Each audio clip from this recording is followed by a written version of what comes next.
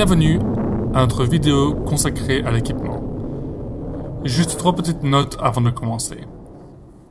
La plupart de notre équipement provient de Orion Telescope. Vous verrez donc leur nom régulièrement. Notez que nous ne sommes pas sponsorisés de tout. Un ou deux clips dans cette vidéo ont été prises il y a deux mois.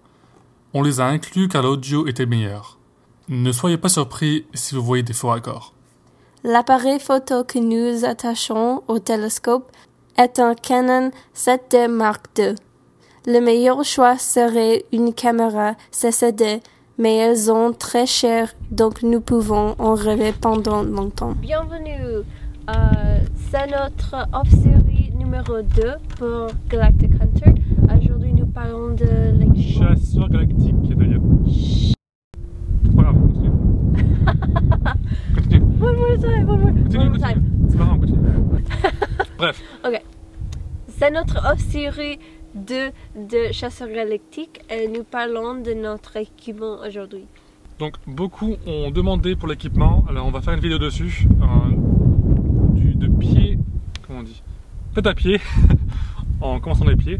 Alors on va parler de tout euh, un par un, toutes les pièces d'équipement qu'on a et comment est-ce que tout marche ensemble pour euh, prendre des photos impeccables. Et euh, ouais. Donc j'espère qu'après ça vous aurez des questions, enfin moins de questions par rapport à l'équipement. Et on vous donnera aussi des liens pour les acheter, etc. etc. Donc voilà, allez. Allez, Alors voici une chaise très importante pour le pour nos fesses. Bref. Euh, donc on a ici une assistante. Alors en premier on va aller de bas en haut. ça c'est notre jump starter. Il a, euh, il donnait l'électricité pour le télescope et ça attache ici au câble. Ça c'est notre trépied, et, très puissant et très euh, très cher. Euh, pour euh, pour notre télescope. Supporté avec le eyepieces. Ouais, ça supporte euh, le trépied en place et on peut y aussi mettre des euh, oculaires. Donc moi j'ai trois oculaires.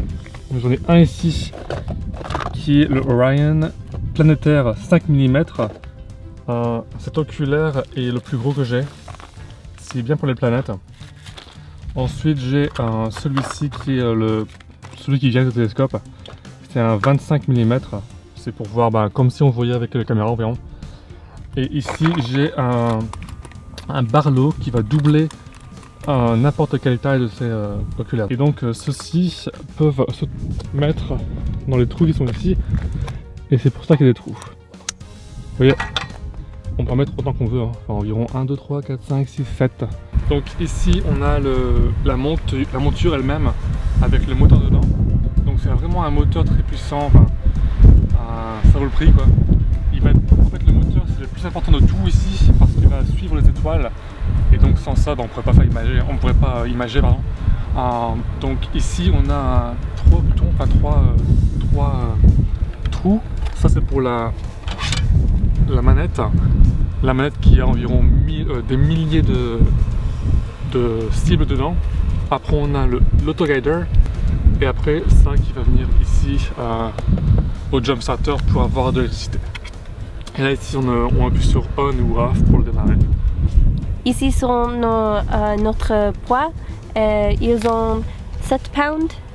Et parfois, euh, ils sont tombés. Mais euh, si, sinon, euh, nous avons beaucoup de force euh, to tighten it. Ouais, ça tombe des fois, on doit les, euh, les revisser, c'est assez chiant des fois. Mhm. Mais plus on utilise les poids, plus ils deviennent un peu. euh, plus les, les vis euh, deviennent un petit peu old, donc vieilles. Donc c'est un petit peu chiant des fois, mais bon, pour l'instant ça va. Ensuite, nous avons donc le télescope euh, qui est l'Orion Astrograph 8 inch f3.9 et le F c'est très bien parce que c'est vraiment très rapide donc c'est à dire qu'avec un f3.9 et ben ça va euh, pour avoir une photo d'Andromède par exemple 4 heures c'est bien Tandis que si j'avais un F8 par exemple, il me ferait 8 heures pour le même résultat. Ensuite, nous avons ici un, collimateur laser. Donc ça, euh, ça sert à, collimer les télescopes. Donc là, il est sur on.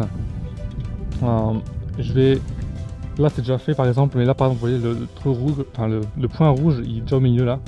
Et, ici aussi, il est déjà au milieu là-bas au bout. Je sais pas si vous le voyez, voilà, il est déjà au milieu. Et euh... Éteins-le s'il te plaît.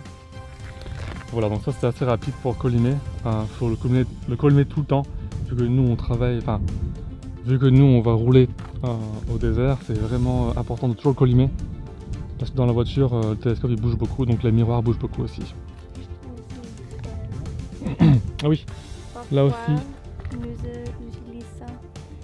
Celui-là, il faut l'utiliser en été par exemple. C'est le ventilateur qui va ventiler le, miroir, enfin le télescope en général. Et en été par exemple quand il fait très très chaud, ben, c'est bien d'allumer pendant environ 20 minutes, une demi-heure.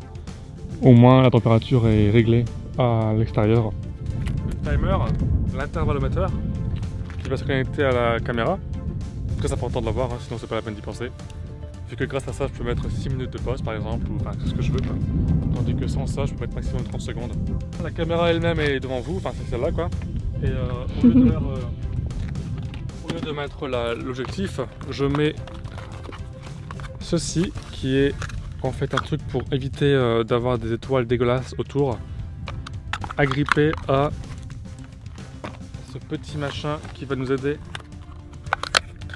à attacher, à attacher la caméra au télescope. Donc ici on peut mettre plusieurs choses. Alors pour l'instant ce qui est attaché c'est l'auto-guider avec le guiding scope, donc le télescope pour le, le guidement, le guidage pardon. Euh, et si on veut on peut enlever ça pour le visuel par exemple et mettre un, spotting scope, donc un télescope pour spotter. Donc ça en fait c'est comme le gros télescope sauf que c'est plus, plus petit, donc tu vois plus de choses. En gros, si tu n'arrives pas à trouver une, cible avec le gros, le gros machin ici, tu, tu mets celle-là et tu regardes dedans Salut. Tu rentres dedans et puis tu peux trouver facilement euh, ta cible et ensuite pouvoir euh, utiliser le gros télescope pour, euh, pour centrer en même temps que celui-ci. Et donc, comme je disais pour le, trou du guidage ici, donc petit machin ici, cette petite caméra ici, elle s'attache donc à la montre, mais aussi à mon ordinateur. Et donc, ça suit une étoile toute la nuit pour pouvoir euh, dire à la, monture, genre trop à gauche, trop à droite, rectifie-toi. Et puis voilà, donc c'est comme ça qu'on traque toute l'étoile. Ça c'est notre Batinov masque et nous utilisons euh, ça pour focuser euh, dans quelques secondes. Donc ce masque prend environ 3 secondes pour qu'on puisse focuser la caméra, avoir la photo sur notre cible on vous montrera après un petit clip de nous qui, euh, qui faisons un petit focus quand il fera noir et vous verrez comment ça marche. C'est vraiment très très bien. Ok donc j'ai mis le masque Batinov ici et je vais vous montrer comment ça marche. Euh, laissez-moi juste enlever le, le flash. Pour être clair, voyons ce GIF. Les spikes que vous voyez se déplacent en jouant avec le focus du télescope. Notre but est d'avoir la spike droite verticale dans le milieu parfait des deux autres. Sans un masque Batinov, obtenir le focus parfait peut parfois être délicat. Mais avec un masque, vous n'avez pas besoin d'un master en sciences pour obtenir le meilleur focus possible en quelques secondes.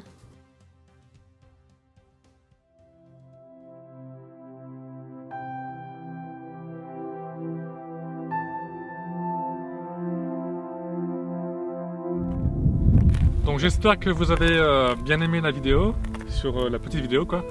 Et euh, si vous avez encore des questions, posez-les, pas de soucis.